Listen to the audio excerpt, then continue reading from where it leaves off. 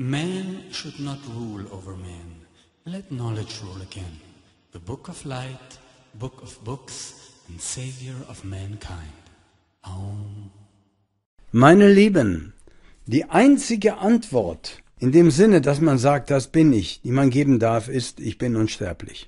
Alles andere sollte man nicht damit beantworten, indem man sagt, ich bin dies oder das, sondern lieber das, was man nicht ist, also ich bin nicht dies, nicht das und kann mich davon lösen, dann rechtfertigt es die Wahrheit der Aussage, du bist unsterblich. Aber nicht, wenn du so weitermachst. Was meine ich damit? Wenn du dich weiterhin mit dem Sterblichen identifizierst, dann kennst du die Wahrheit nicht, nämlich deiner Unsterblichkeit. So einfach ist das und wohl so schwer für die meisten, denn das Sterbliche ist ja schön. Das Vergängliche ist schön. Die Sinnesfreuden, die zwar vergänglich sind, sind aber dennoch, wenn sie aktiviert sind, wenn sie da sind, schön, nur im Endeffekt sind sie leidvoll, weil sie der Veränderung und der Vergänglichkeit unterliegen und mehr und mehr Menschen fragen sich immer öfter, ist denn da nicht noch was? Ja, wie wär's mit der Loslösung davon? Und wie wär's mit wahrer Unsterblichkeit? Meine Lieben, manchmal denke ich, ich bin für euch eingetaucht in die Welt der Sinne, so extrem und habe das überlebt, um euch das sagen zu können. Ehre sei dem Buch des Lichts. Das Buch des Lichts lehrt uns, alles Erkennbare an uns ist wegen seiner Vergänglichkeit leidbringend. Und das Heil oder die Heilung, das ist auch der wahre, die wahre Bedeutung des Begriffes der Heilige oder von Heiligen, das liegt im für uns unerkennbaren Teil unseres Wesens, der, weil er ja jenseits alles Vergänglichen ist, kein Leiden kennt. Wir sind also aus dem Leidlosen immer wieder ins Leidvolle gefallen aus dem Immateriellen in die Materie. Ja, warum haben wir das denn gemacht? Wie dumm kann man sein? Gute Frage. Richtige Analyse. Dumm. Dummheit. Freundlich gesagt nicht wissen. Hat uns dazu gebracht, diese schöne Heimat, die das Unzerstörbare zu verlassen, um uns in das Zerstörbare zu stürzen und dann auch noch exponierte Dummheit, uns damit zu identifizieren. Und dann zu sagen, ich bin sterblich, aber wenn das so wäre, hätten wir keine Angst vor dem Tod, siehe den, die Vorträge davor. Also wo liegt das Heil für, für uns? Natürlich im unerkennbaren Teil unseres Wesens. Man kann sagen, dass die eigentliche und letzte Aufgabe darin besteht, uns von dem erkennbaren Teil von uns zu befreien und uns auf unser eigentliches Ich zurückzuziehen, auf diese Insel, auf die rettende Insel. Ja, die in dir ist. Der Big Bang, der Urknall fand in dir statt. Für alle Wesen das gleiche Erlebnis. Da ist der Ursprung, liebe Wissenschaftler. Spendet eure missbrauchten Forschungsgelder lieber den hungernden Kindern in Afrika. So, das ist die Absicht des Buchs des Lichts, uns zu befreien vom Vergänglichen, damit wir verstehen, die Wahrheit ist deine Unsterblichkeit. Was die Religionen von ihrem Gott behaupten, dass keiner ihn erschaffen hat, das lehrt das Buch des Lichts von allem. Urmaterie, Wesenheiten und der Urgrund sind zeitlos ewig unerschaffen, interagieren periodisch. Meine Lieben, wenn ein, kann ich die Beilegung, ich versuche das immer so einfache Worte wie möglich, dass ein Kind das versteht, kann ich die als Bürde betrachten? Bei der Geburt bist du da rein, hast den befruchteten, äh, das befruchtete Ei ergriffen, hast dich drin breit gemacht, wurdest immer größer, hast dich immer mehr ausgebreitet und flutsch bist du rausgekommen. Ja? Naja, klingt ein bisschen negativ, ja, aber so war's doch. Wenn jeder, auch der leiseste Wunsch oder Drang, nach dem erkennbaren Teil von dir für immer ausgelöscht ist, dann findet im Tode kein Ergreifen eines neuen Keimes statt, aus dem sich eine neue Persönlichkeit bilden könnte. Ja?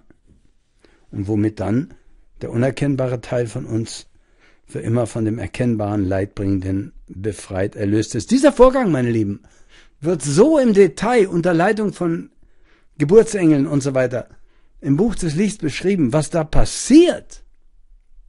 Denn schau mal, du kommst ja wieder, weil dein Verlangen dich zurückbringt. Und Energie kann nach dem Energieerhaltungssatz, dem Meyerschen Erhaltungssatz der Energie, kann nicht verloren gehen, wenn sie da ist. Das heißt, sie gruppiert sich neu um einen befruchteten Schoß und zieht die Wesenheit herein. Sie breitet sich innen aus, flutsch kommt sie raus, die Schnauze voran, der Tor, da ist er wieder. So.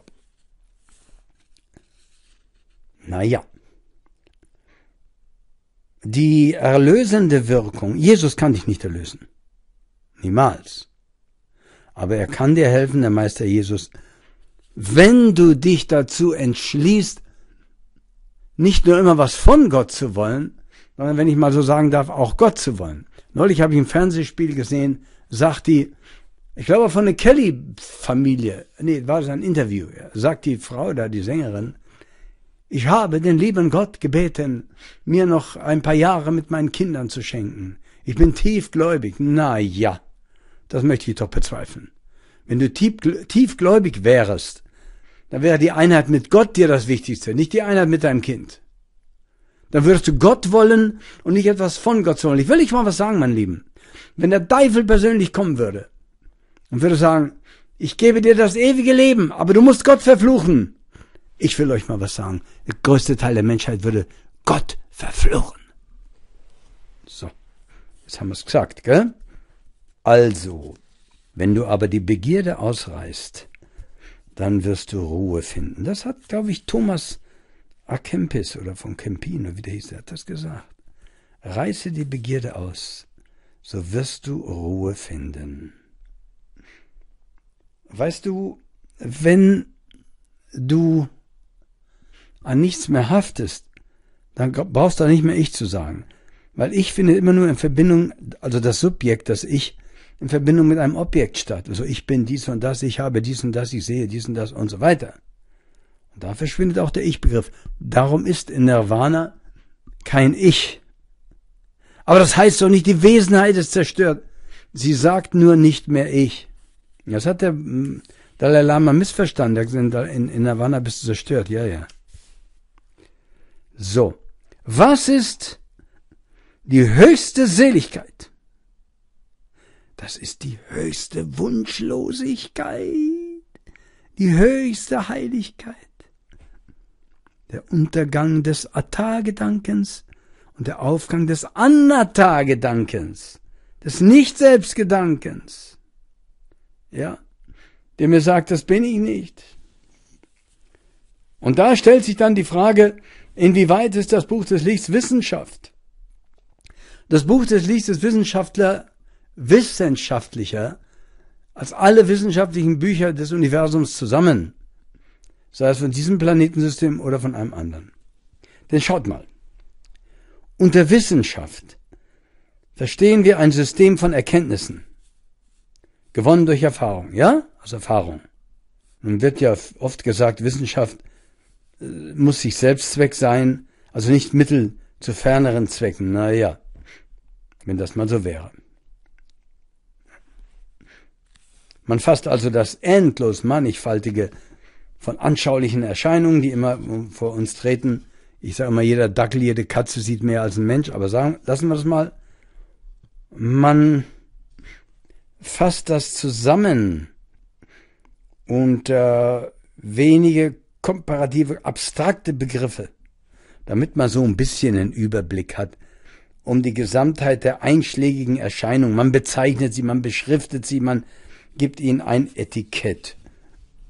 So wie man mit Etiketten kann man sich Etikettenschwindel auch betreiben, so wie das jetzt mit Corona gemacht wird, was eigentlich Grippe ist und man sagt einfach, es ist Corona. Naja, gut. Macht mal. So. Die Wissenschaft sollte eigentlich nicht Mittel zu ferneren Zwecken in dem Sinne sein, als der Mann der Wissenschaft, wenn er Erkenntnisse gewinnt, welche durch die Pflege seiner Wissenschaft erreicht werden sollten, keinen anderen Zweck verfolgen dürfte als den der Feststellung der objektiven Wahrheit. Ja, das ist zwar, scheint zwar selbstverständlich, ist aber in Wirklichkeit so wenig anzutreffen, wie es einen genialen Menschen gibt, der anzutreffen ist, ja? Weil jemand, der genial ist, ist eigentlich jemand, der etwas rein objektiv betrachten kann. Unbeeinflusst von den eigenen, eigenen Neigungen, ja? Nach denen man vielleicht sagt, ja, das hätte ich gerne und das hätte ich nicht gerne. Und da, deswegen gibt's so viele Vorurteile in den Sekten und in der Religion. Wenn wir eine gefasste Hypothese haben, oh, dann, ja, macht sie uns blind für alles ihr Widersprechende. Und was dem Wunsche entgegensteht, das kann man oft gar nicht fassen und begreifen, während anderen liegt es klar vor. Und dann kommt dieses Problem, dieser Kampf zwischen Herz und Kopf. Was gegen das Herz ist, das lässt der Kopf nicht rein oder umgekehrt. Wir haben immer wieder diese beiden äh, wie, äh, Gegensätze. Es gibt Menschen, die halten Irrtümer das Leben lang hindurch fest.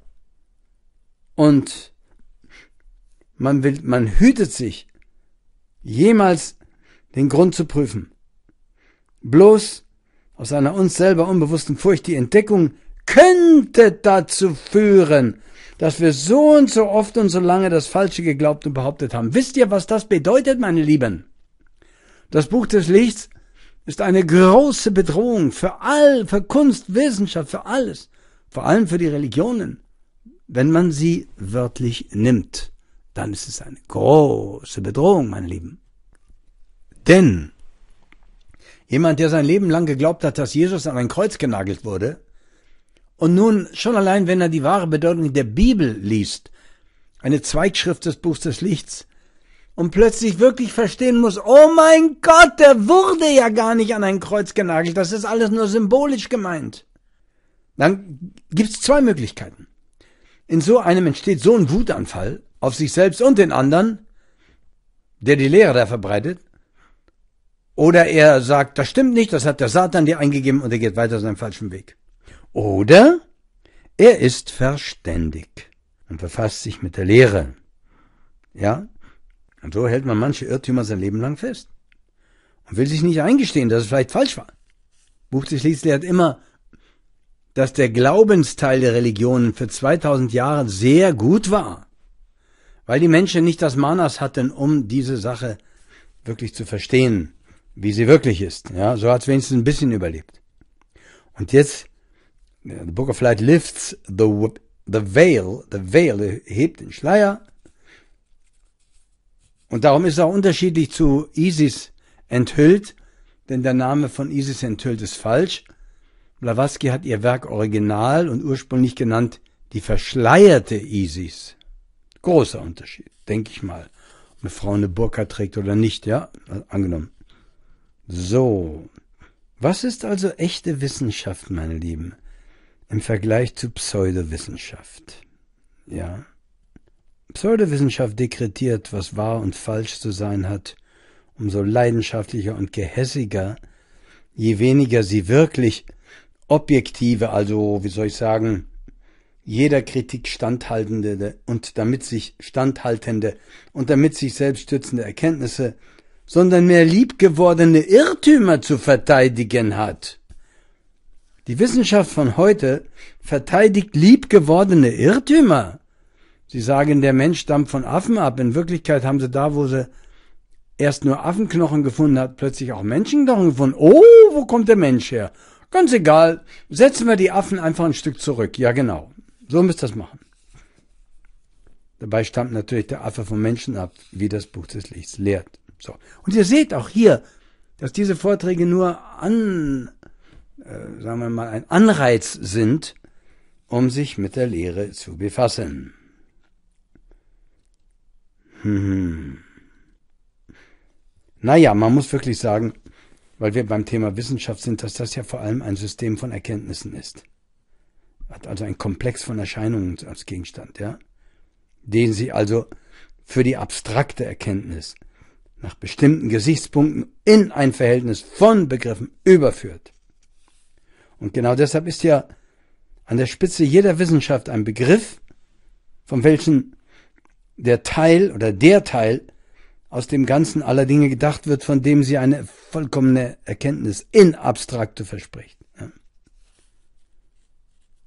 Man kann ein System der Physik oder der Chemie begründen, indem man, was die sämtlichen Naturtatsachen, die man eben unter dem Begriff Physik und Chemie zusammenfassen, Chemie zusammenfassen sich gewöhnt hat, nach einheitlichen Gesichtspunkten klassifiziert, damit sich daraus ein für die praktische Anwendung leicht übersehbares, einheitliches Gesamtbild ergibt. Ja. Natürlich gibt es auch Systeme der Philosophie. Und die versuchen die Gesamtheit aller erkennbaren Erscheinungen überhaupt, die man unter dem Begriff Welt zusammenfasst, auf ihre letzte Wurzel zurückzuziehen. Das macht das Buch des Lichts ganz radikal. Radikal, Radis, Wurzel. Ja.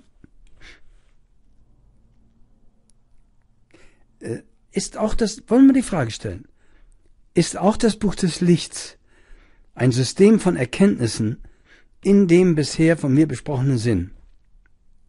Auch das Buch des Lichts geht ja zunächst von rein praktischen Erwägungen aus.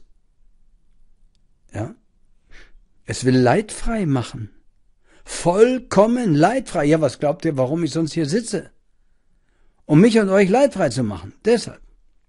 Also bis zu einem äußersten Grade, dass man keinerlei unangenehmen Empfindungen mehr ausgesetzt ist. Ja? Auch keinen solchen, wie sie zum Beispiel Alter und Krankheit in Gefolge haben. So kühn ist das Buch des Lichts, meine Lieben. Sogar, vor allen Dingen auch das Thema jetzt immer wieder, das Grundthema, du bist unsterblich, der Sterbeempfindung für ewig zu entrinnen. Ja? Und zu dem Zwecke will das Buch des Lieds helfen, dir deine Zukunft zu gestalten, die aus Rückzug besteht. Rückzug. Das Problem ist ja das Leiden. Wie löst das Buch des Lichts das Leiden? Es bezeichnet zunächst mal das letzte umfassendste Kriterium allen Leidens oder alles Leidens, die Vergänglichkeit. Diese vergänglichen Strukturen, Ursprung der Rassen, Entwicklung der Rassen, Ursprung der Tiere, Ursprung der Himmelswelten, äh, Ursprung und äh, Aktivität von anderen Planetensystemen. Und so weiter und so weiter, wird alles erklärt im Buch des Lichts, aber unter dem Gesichtspunkt der Vergänglichkeit was mir irgendwann mal entschwindet, ich bitte euch, das, das wird mir doch, indem es mir entschwindet, Leiden bringen. Umso größer ist das Leid, je größer der Genuss des nunmehr entschwindenden Objektes war. Gilt natürlich auch für Personen, Personen und Dinge. Da ist natürlich dieses Paar, das zu mir gekommen ist. Und die haben gesagt, wir wollen uns immer lieben und freuen uns schon darauf, uns im nächsten Leben wiederzutreffen. Dann habe ich äh, zehn Jahre später ihn getroffen und sie war gestorben. Er war vernichtet. Ich sage, ihr trefft euch doch wieder. Ja, sagt aber, ich konnte dem Leiden nicht entkommen, als sie gestorben ist. Aha. Ja, das Buch des Lichts hätte dich von dem Leiden auch erlöst, aber dann hättest du den gewaltigen Quantensprung wagen müssen, dich auch von ihr vorher zu lösen. Traust du dich? Traust du dich? Glaubst du, wir machen hier irgendein äh, pseudo-esoterisches Gesülze? Hier geht's zur Sache, meine Lieben. Ja? Hier wird kein Glück und keine Harmonie in der Welt und, und, und, und Schönes und das, das lernen wir nicht. Wir lernen die Wahrheit. Die Wahrheit wird euch befreien. So, so hat also das Kriterium für das Leiden das nicht beharrende, nicht unveränderliche, nicht ewige, welches Buch des Lichts als vergänglich übersetzt wird, also mit dem Begriff Anicca. Kontradiktorische Gegenteil von Nietzsche oder Nika, wie man will. Beharrend, unveränderlich, also ewig. So hat das Buch des Lichts das Mittel gefunden, um zunächst einmal den ganzen Umfang des Leidens, also die Lehre aller Erscheinungen in den sichtbaren und unsichtbaren Welten, von denen die jetzige Wissenschaft ein Putzelchen ist, ein Zipfelchen, ein Zapfelchen. Das erstmal zu beschreiben. Zugleich muss ich hinzufügen, es ist nicht unbedingt nötig. Ein schlicht denkender Mensch mit gesundem Menschenverstand, der braucht vielleicht nur einen Vortrag von mir, liest ein Buch des Lichts, um loszulassen. Das geht auch. Aber bisher bin ich so einem noch nicht begegnet. Mit vielen begegnet, die gesagt haben, jetzt befasse ich mich mit dem Buch des Lichts. Der Kampf beginnt. Es ist super schwer. Ich will, ich will das Todlose, ich will das Unsterbliche. ja. Also, die gewaltige Aufgabe des Buchs des Lichts, meine Lieben, ist das Phänomen des Lebens in die einzelnen Komponenten aufzulösen und diese Komponenten in ihrem gegenseitigen Verhältnis zu durchschauen. Vor allem auch das Geheimnis des Bewusstseins. Noch heute zählt das zu den unlösbaren Welträtseln. Buch des Lichts löst das ganz klar. Du bist nicht dein Bewusstsein. Damit ist die Frage schon beantwortet. Du hast ein Bewusstsein. Du kannst es benutzen. Was glaubst du wozu? Zu zwei Dingen um dir der Dinge bewusst zu werden, dann dir bewusst zu werden, dass sie nicht du bist, dass sie nicht du sind, sozusagen. Und dann, um dich davon zu lösen und am Schluss löst du dich auch von deinem Bewusstsein, welches auch anatar ist. Ehre sei dem Buch des Lichts, immer und immer wieder, mein Lieben. In unvergleichbarer Weise löst das Buch des Lichts diese, dieses Problem und beschreibt das Bewusstsein. Und das machen wir im nächsten Vortrag. Also, du bist unsterblich, aber nicht, wenn du so weitermachst und dich weiter mit dem identifizierst, was du nicht bist. Um,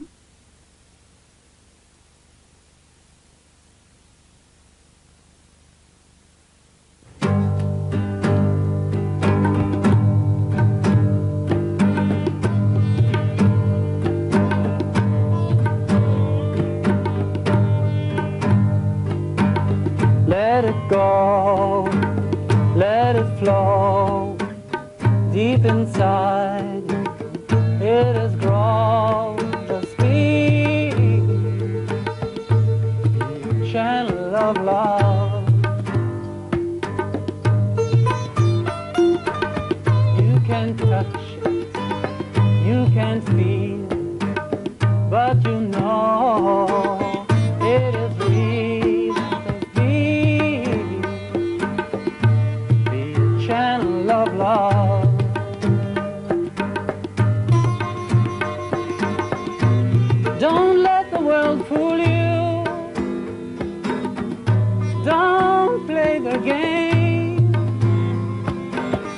Things are changing, nothing stays the same.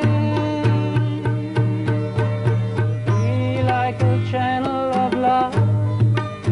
Let His light shine on you from above. Let the world know that you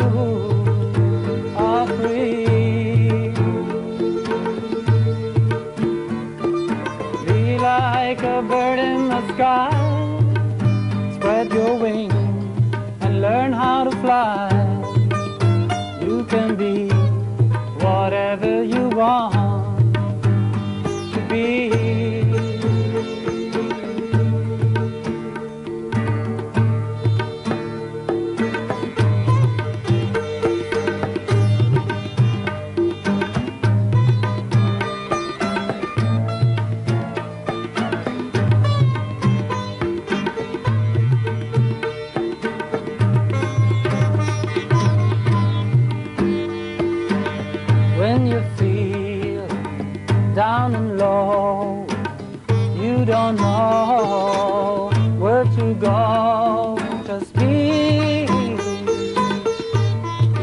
Channel of love. Keep on searching, keep on trying.